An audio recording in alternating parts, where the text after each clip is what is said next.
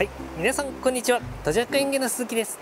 1月に入りましてね非常に気温も上がってきました、えー、水生植物もねぐんぐんとね成長してきている今日この頃ですね。今日はね何をするかと言いますとあのアクアリウムの世界あの水槽の中であのお魚飼育したりとかする中であの水生植物とかねあの水草とかをね育てるあれですね。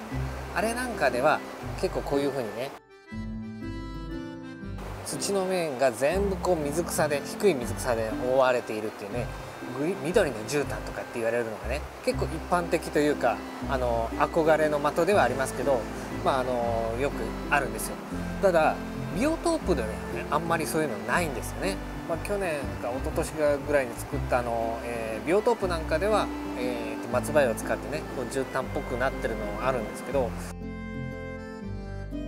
まあ、他にもねこう絨毯候補の水生植物何種類かありましてそうだなうんってねあのどれが一番ね早く綺麗に絨毯になるかっていうのとあと実際に絨毯になるかどうかっていうのをね検証してみたいなと思いまして、えー、今日はねそれの検証実験スタートさせてもらいたいと思いました。それではこちらです。こういうねのビオトープのこの土の面ですよね。こういう土の面がね全部こう緑の絨毯で覆われてたらねやっぱりいいと思うんですよね。だからねそういうのに適している水草はどれかなっていうのをね今日は検証させてもらいたいと思います。これねアホなことにねこの動画撮る時にまた録音できてなかったんですよ。だからねちょっとまたコメントで、えー、ナレーションでね済まさせてもらおうと思っております。まずねここのねプラ舟に田んぼの土を敷いてねでそこで各4種植えていこうというようなことを今説明している状態です。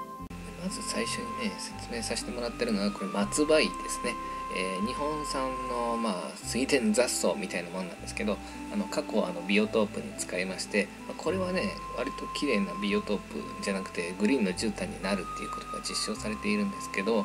まあちょっと背が高いっていうので絨毯っていうよりも草原っていう感じに近いのでまあこれもねどれぐらいのスピードで増えていくかとかってですね、えー、見た感じね、えー、ちょっとこういうのをね検証したいと思うので一つにさせてもらっております。続きましてねこれコブラグラスっていうやつですね。これがねあのなんでコブラグラスかってこうこうシュッシュってねあのこのヘビのあのコブラですね。シュッシュってねあのヘビのコブラ。はい。ヘビのコブラの首みたいな感じだからあのコブラグラスっていう風に名前ついているんですよ、えー、変わった名前ですよね。これもちょっとあの、まあ、松葉のような感じで、えー、ちょっと草丈が高めですのでどちらかというと草原みたいな感じですね。でこれもねアクアリウムなんかであのグリーンカーペットみたいな感じで使われることがあります。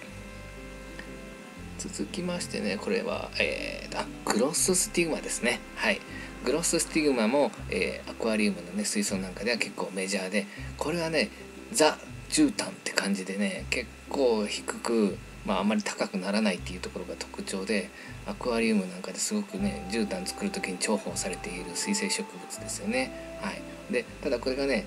あの二酸化炭素が必要だったりっていうこともあるので、まあ、ちょっと今回 CO2 なしでね、え二酸化炭素なしでいった場合にどのような、ね、成長するかっていうのをね検証したいと思っております。まだ喋ってますね。もう何喋ってたか覚えてないですね。まあまあまあいいとしましょう。はい。早く終わってくれ。もう何言ってんの、ああ終わった終わったはい次でこれがですねえっ、ー、とね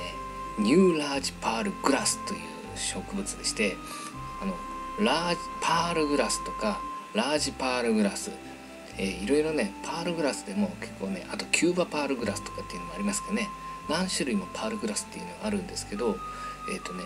今までまあ普通のパールグラスっていうんですかね。パールグラスとかニュ、えー、ラージパールグラスっていうのは水槽の中に入れると浮力の方が勝ってですねあのこう這うんじゃなしに水面より立ち上がってくるっていうような感じの、え、成長の仕方をするんですよね。ですけどこのねニューラージパールグラスっていうのは、えーとね、水面這うような感じで成長していくと言われているんですよ。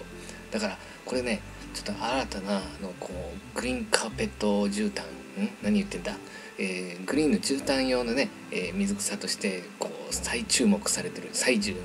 注目されている機体の新星ですねですからこれねちょっと本当に今回こいつがね期待しているんですよ。どんな成長してくれるかね。ただね土着園芸でまだ売っておりません。まあ、あの売れるようになったらねまたあのホームページやね、えー、直売店の方でご案内させてもらいたいと思っております。はい、はい、ということでここから植えていきます。